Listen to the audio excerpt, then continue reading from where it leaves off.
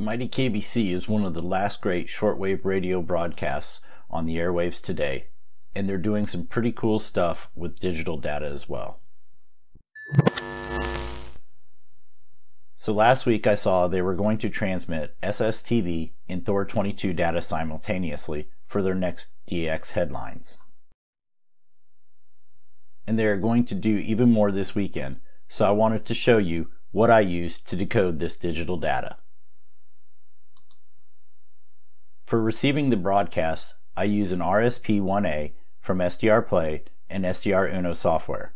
You'll need a virtual cable installed and I've included a link how to do that below. Set the output to the virtual cable and tune to 5960. Next, you'll want to use MMSSTV to decode the SSTV images. I've also included a link on how to install and use it below we need to set the audio input to the Virtuals cable output. Do this by going to Setup MMSSTV, go to Miscellaneous, and choose Cable Output VB Audio. Click OK. Now as it's receiving the SSTV images, it'll change the mode automatically for us.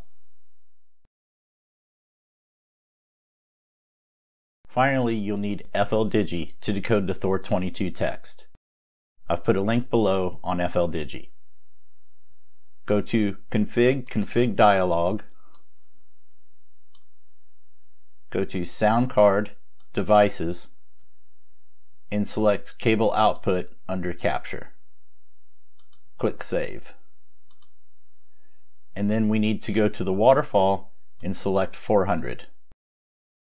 Now you're ready for the broadcast. On this frequency, donate to keep the mighty KBC alive. Email us now, themightykbc at gmail.com. This is Peter John with the DX headlines. Today we have two SSTV images in Scottie 2 and in addition to that, Thor 22 at 400 Hz.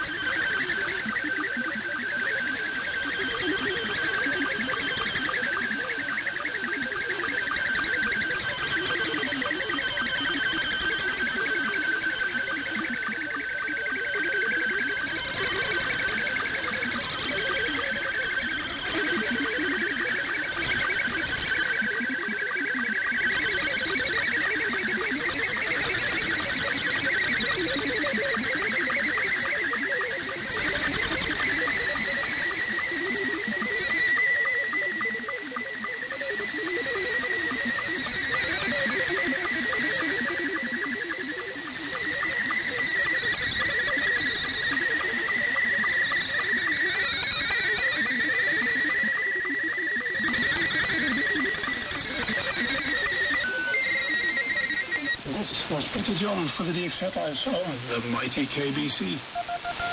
KBC. It's only rock and roll radio. But we like it.